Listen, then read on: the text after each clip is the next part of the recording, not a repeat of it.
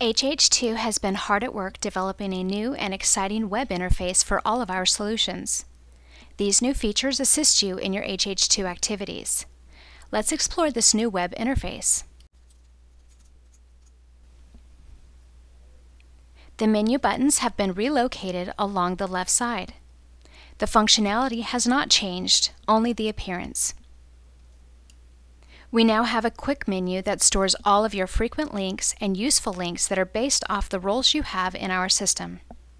We have added improvements to our support as well.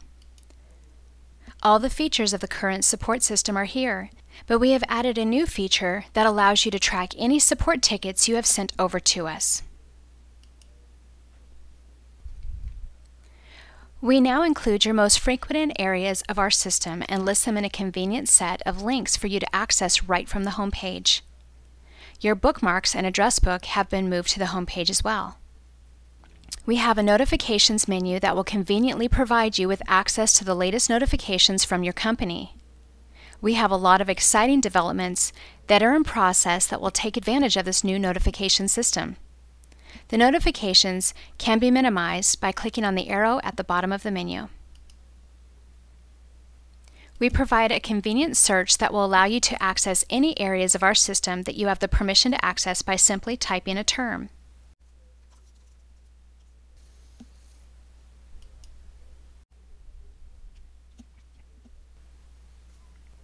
Here you will find a user menu that will allow you to access some additional features.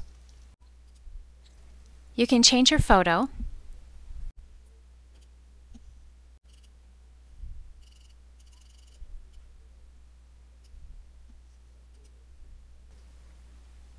Change your email or password.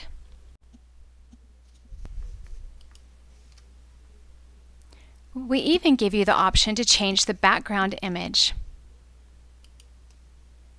And finally, you can use the user menu to log out of our services. If you receive this message, your browser is unsupported. We have provided links for you to download the latest version of each of these browsers. Thank you for taking the time to go over the features of the new interface for HH2 Cloud Services.